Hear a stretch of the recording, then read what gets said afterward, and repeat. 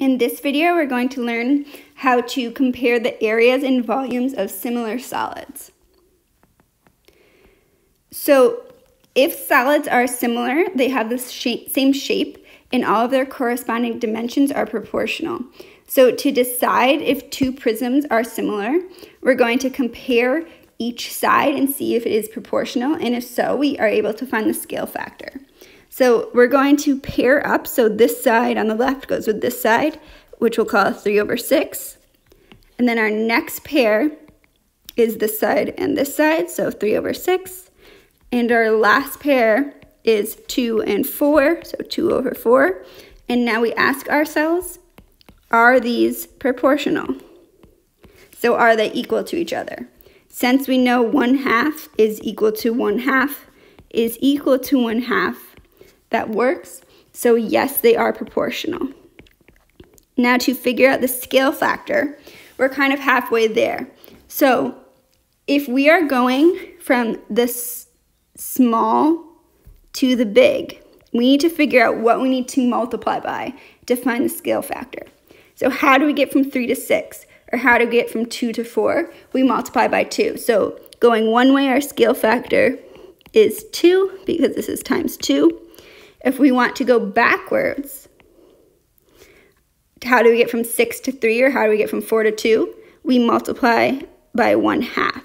So our scale factor going backwards is 1 half, which is actually what we found here.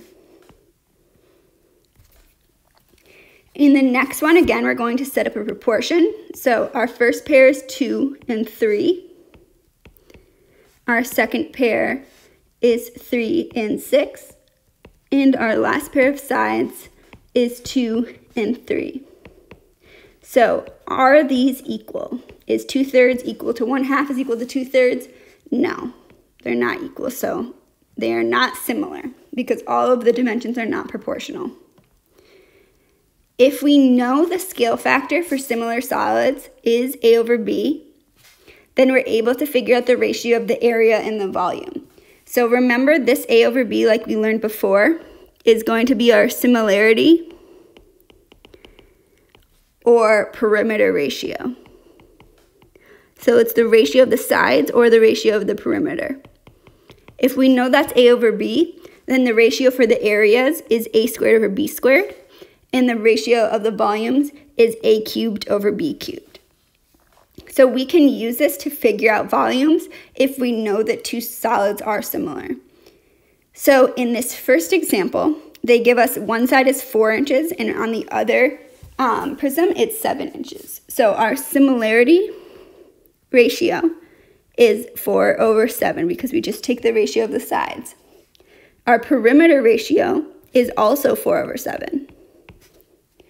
Now our area ratio is 4 squared over 7 squared because it's a squared over b squared. So our area ratio is 16 over 49.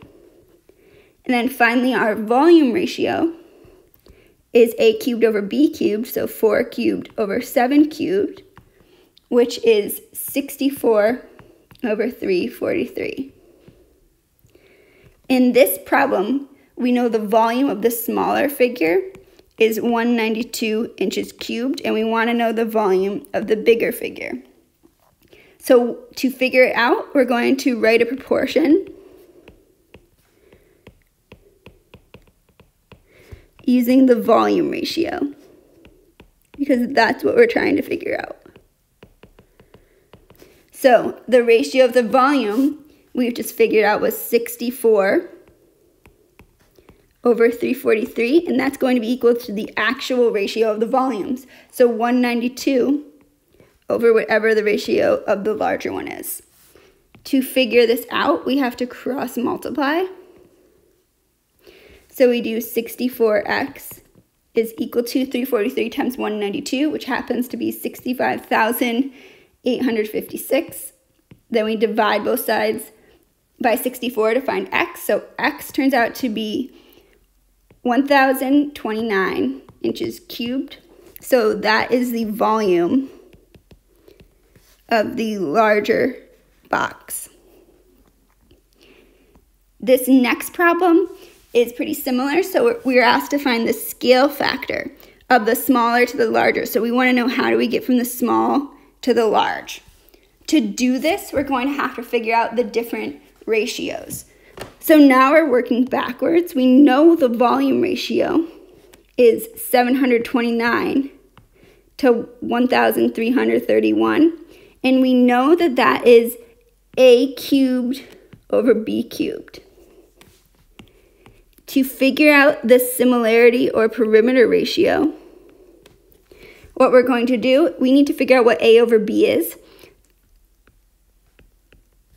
So we're going to take the cube root of 729 over the cube root of 1,331. And we find out on our calculators that's 9 over 11. If we also wanted to know the area ratio, we would take that and we'd square it. So we'd do 9 squared over 11 squared, and we would get 81 over 121. So now we have our three ratios. To find the scale factor, now if we know the ratio of the sides is 9 to 11, we need to figure out how we get from 9 to 11, or how we get from 11 back to 9. What you would do is say 9 times what equals 11. You divide both sides by 9, and you'd find x is 11 over 9. So our scale factor to get from 9 to 11 is 11 over 9. If instead we wanted to go backwards, we'd say 11 times what gives me 9. I'd divide both sides by 11 and I'd get x equals 9 over 11. So you can figure out your scale factor going either way. But in this case, they wanted from the smaller to the larger. So our scale factor is 11 over 9.